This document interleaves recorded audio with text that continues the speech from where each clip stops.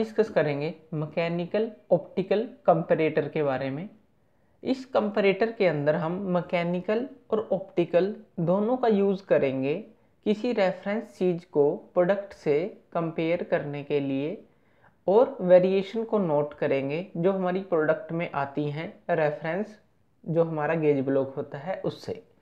तो मैकेनिकल और ऑप्टिकल दोनों का कम्बिनेशन है ये तो इसलिए इसको मैकेनिकल ऑप्टिकल कंपैरेटर बोला जाता है। कंपैरेटर का मतलब हमें पता है क्या करता है? कंपैरेटर हमारा रेफरेंस चीज़ को कंपेयर करता है। जो हमारा रेफरेंस होता है, उसको कंपेयर करता है किससे? जो हमारा प्रोडक्ट है, उससे। ताकि हम वेरिएशन को नोट कर सकें। जो वेरिएशंस हैं उनको हम नोट कर सकें। वेरिएशंस मतलब जो चेंजिंग इन डायमेंशन है, उनको हम नोट कर सकें। तो उसके लिए सबसे पहले हमें क्या करना होता है?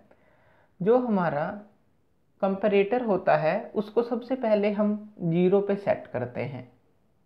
ज़ीरो पे सेट करते हैं मीन्स उसको रेफरेंस जो हमारा गेज ब्लॉक होता है, उतनी रीडिंग देके ज़ीरो पे सेट कर लेते हैं कि इतना हमारा रेफरेंस ब्लॉक है।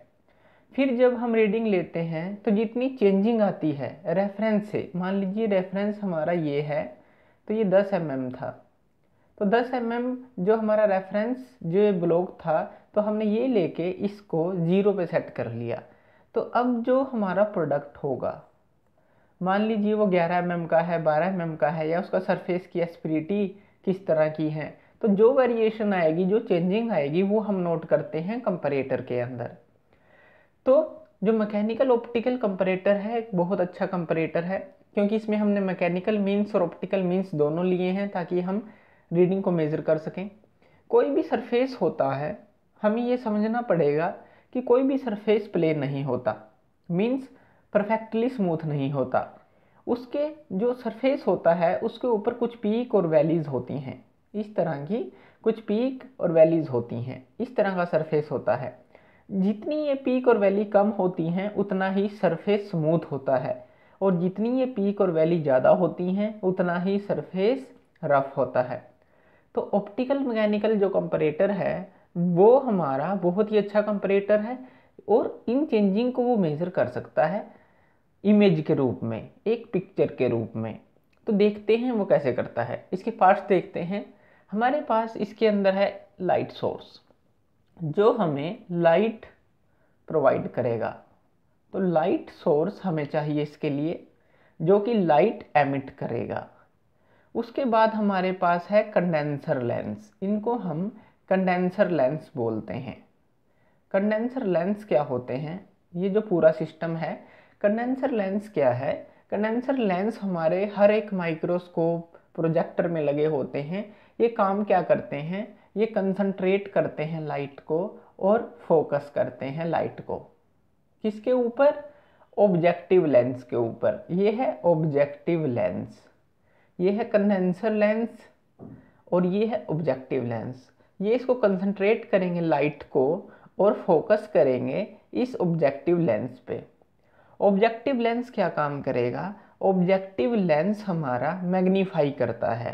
जो ये लाइट आएगी, उसको मैग्नीफाई करेगा, लार्ज लेवल तक ले जाएगा, जितना ये कर सकता है। उसके बाद यहाँ पे लगा है मिरर। ये है मिरर। मिरर का काम क्या है? मिरर का काम है लाइट को रिफ्लेक्ट करना। तो जो लाइट आएगी, वो रिफ्लेक्ट होके इस स्क्रीन पे जाएगी। ये जो कर्व्ड स्क्रीन है कर्व्ड स्क्रीन है, इस पे जाएगी। तो इस स्क्रीन पे हम उसको कैप्चर करेंगे इस लाइट को। तो जो ये लाइट है, इसकी वेरिएशन जिस तरह से होगी, वो यहाँ पे कैप्चर होती रहेगी। तो इसकी वेरिएशन होगी कैसे? ये तो हो गया सारा ऑप्टिकल कंपरेटर का काम। मैकेनिकल का क्या है? यहाँ पे देखिए, यहाँ पे वर्क पीस है। अब इसके ऊपर कुछ एस्पिरिटीज़ हैं, जो हमने अभी बात की कि कुछ पीक एंड वैलीज होती हैं सरफेस के ऊपर। और यहाँ पे ये नाइफ एज है। नाइफ एज नाइफ एज हमने यूज़ किया है ताकि हम एक्यूरेट रीडिंग ले सकें, बहुत अच्छा कॉन्टैक्ट बन सके वर्क पीस के पॉइंट्स के बीच में और जो हमारा ये प्लंजर है, इसके पॉइंट के बीच में। तो जैसे ही वर्क पीस को हम इधर मूव करते हैं, मान लीजिए लेफ़्ट और राइट की तरफ़ मूव कर रहे हैं तो क्या होगा? ये पर, जो ये प्लंजर है, इसका जो ये लिंकिंग मैकेनिज्म है, यहाँ पे ये पाइवट है। पाइवट है, या हम कह सकते हैं कि यहाँ हमने इसको, यहाँ पे इसको ये पॉइंट दिया है पाइवटिंग के लिए। तो क्या होगा, जैसे ही वर्क पीस आएगा तो ये पीक एंड वैली है। तो ये क्या होगा, ऊपर और नीचे की तरफ़ मूव करेगा। ऊपर और नीचे की तरफ़ मूव करेगा तो इस पाइवट के थ्रू ये इस मिरर को, इस एज के थ्रू टिल्ट करेगा। मान लीजिए, ये इस एंगल पे है। थोड़ा अगर ये मूव करेगा ऊपर और नीचे तो क्या होगा, ये हमारा मिरर टिल्ट होगा। किसी एंगल पे। जैसे ही ये टिल्ट होगा टिल्ट होने के बाद ये इन रेज को डिफ्लेक्ट करेगा, एक अलग एंगल पे, और ये स्क्रीन इसको कैप्चर करेगी कि किस एंगल पे जो ये रेज आ रही हैं तो ये इनको कैप्चर करके एक हमें इमेज देगी जो कि हमें वेरिएशन दिखाएगा रेफरेंस ब्लॉक से या रेफरेंस गेज से। तो मैकेनिकल मीन्स क्या है? यहाँ पे जो ये मैग्नीफाई करने के लिए हमने रीडिंग को, ये हल्की सी रीडिंग है, इसके थ्रू मैग्नीफाई होगी, इस लिंकिंग के थ्रू, और ये और ज़्यादा मैग्नीफाई होगी इन रेज के थ्रू। हम जानते हैं जब कोई लाइट किसी सरफेस पे पड़ती है, मान लीजिए ये लाइट है, जब किसी सरफेस पे पड़ती है तो वो थीटा एंगल से मान लीजिए डिफ्लेक्ट होती है। अगर हम इसको थोड़ा टिल्ट कर देते हैं, इस सरफेस को तो जो ये लाइट है ये हमारी टू थीटा एंगल से, टू थीटा एंगल से डिफ्लेक्ट होती है। तो दुगनी हमें मैग्निफिकेशन मिलती है। तो इस, जो इसका बेसिक कंसेप्ट है, वो यही है, जो लाइट सोर्स होते हैं, वो जब लाइट फेंकते हैं और जब हम इसको टिल्ट करते हैं तो दुगनी मैग्नीफिकेशन हमें मिलती है।